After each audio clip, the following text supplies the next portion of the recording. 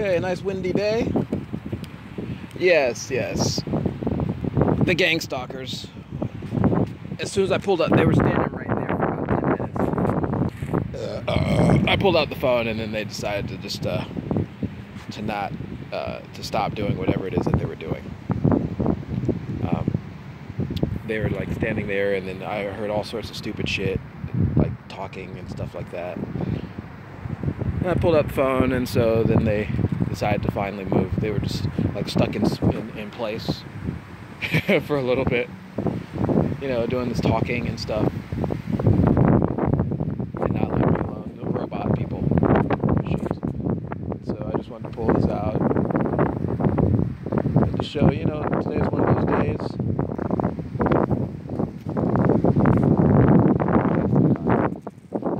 Today's one of those days. It's it was it was nice and warm, and all of a sudden it's, it's real windy and uh, weird. This is one of the parks that I come to sometimes. It doesn't take long for people to show up, but they will. Um, it's a Sunday morning. It couldn't be more than 7 a.m. Maybe 7, 7:30 a.m. You know, a nice brisk morning. Uh, I've already had a couple of people strafe by, but uh, there you go.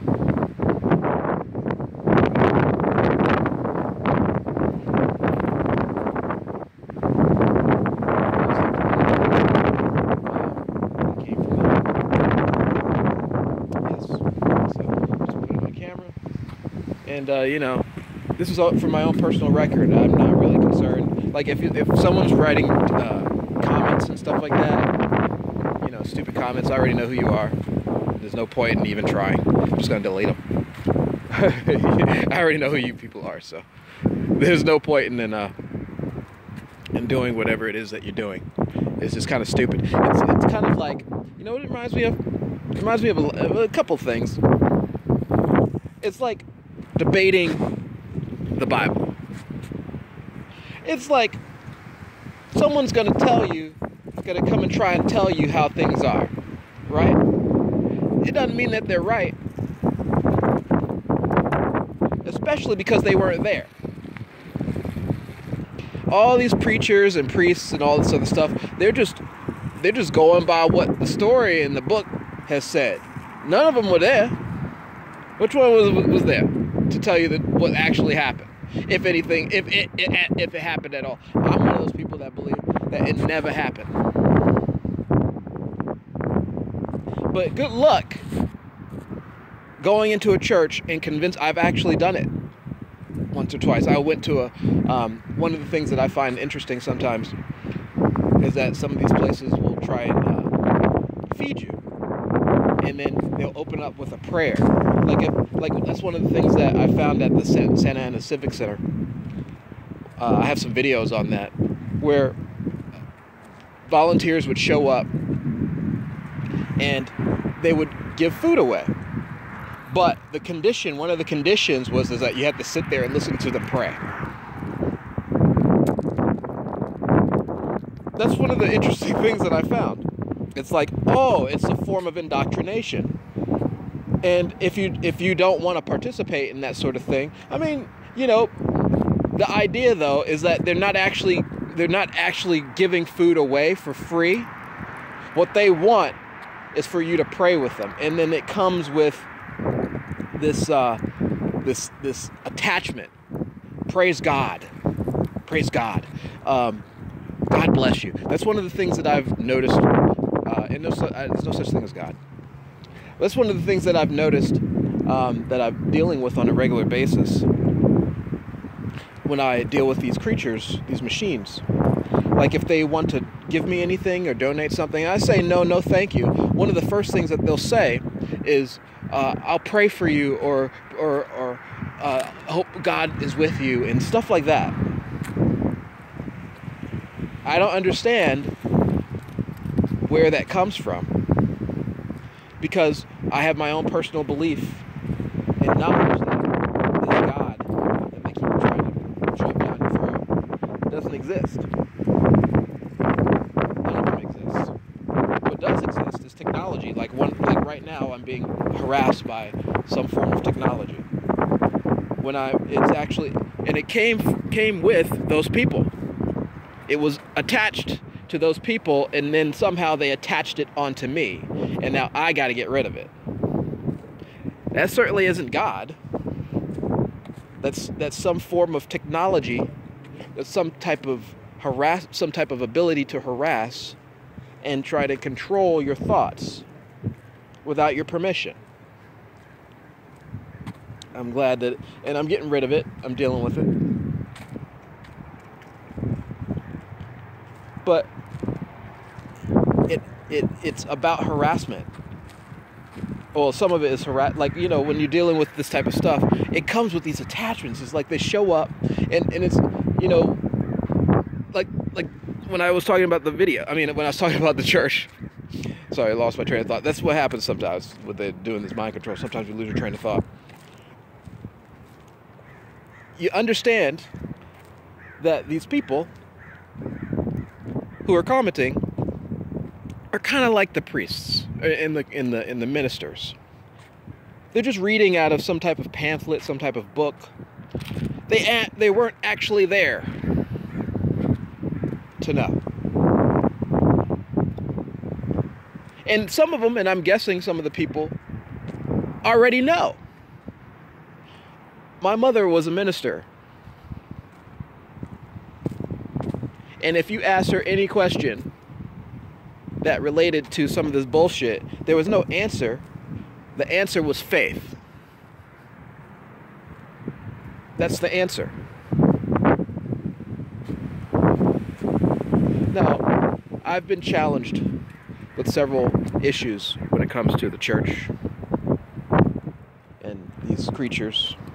One of the things is the idea of forgiveness. I've been challenged. I've had to challenge myself in the understanding of what forgiveness means.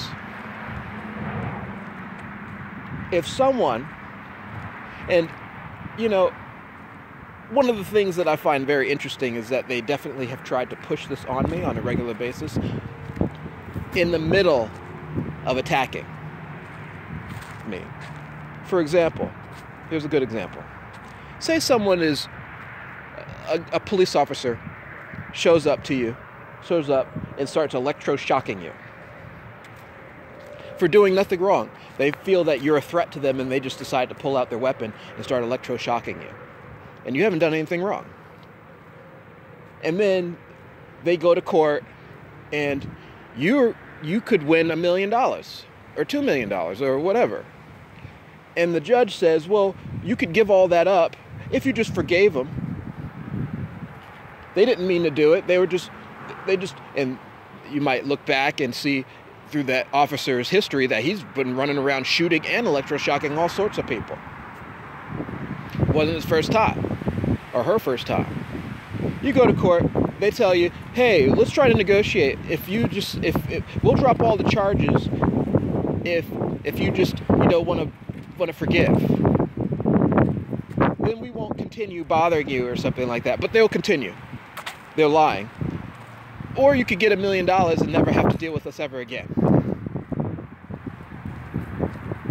That sort of thing. What would you do? Would you forgive or would you take the money? Just, you know, it's just, there's a lot of different scenarios. That's just one scenario. Obviously, there's plenty of different scenarios. But would you forgive repeat offenders? Something or someone who keeps coming back, like a stalker, like stalkers. That's kind of like what gang stalking is. No matter where you go, the same type of attacks keep happening. That means that someone is behind it and is familiar with the type of attacks, and so are the people. It is very consistent. Happens on a regular basis. And if they ask for forgiveness, which is what the church is trying to promote, you know, like the pedophiles. You should forgive them because they don't know any better. And then, you know, instead of instead of fucking them up and getting rid of them and putting them in jail, you send them to another church so they can go and molest 50 other kids. I'm just saying. That's where forgiveness gets you. I am not forgiving.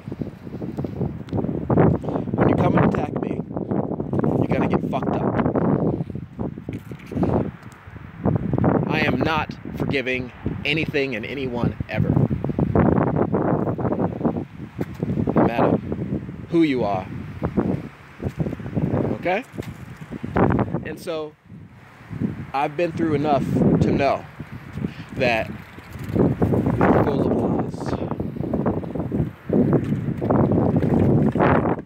I'm surprised. I've actually been sitting right here one, one day. I was sitting right here, and a police officer showed up, ran up to me, and just decided to say, "Hey, are you okay? Everything all right?" I'm like, "Yeah, I'm totally fine. Why are you here?" This happened. I've already recorded on video. I had a police officer show up over there. And as soon as I started recording and talking about what they're actually up to, he ran the fuck off. That later that day, he tried to get me into some type of uh, altercation. That was the same day that they tried to arrest me um, over there. Oh, there's a cop. Look, speak of the devil. There's no such thing as devil. But this is what you're deal I'm dealing with. Surveillance, constant surveillance that is actually a part of the police state. And they got people all over the place participating in it also. It's like they get switched on and switched off. Who knows?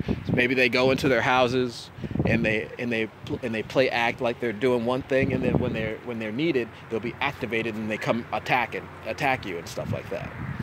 Just like kind of like the Matrix, where all of a sudden anyone could become an agent, and you don't know who they are, and I don't know if they're complicit in it or not.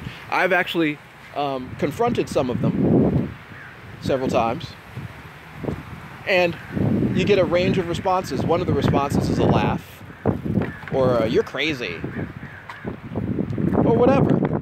But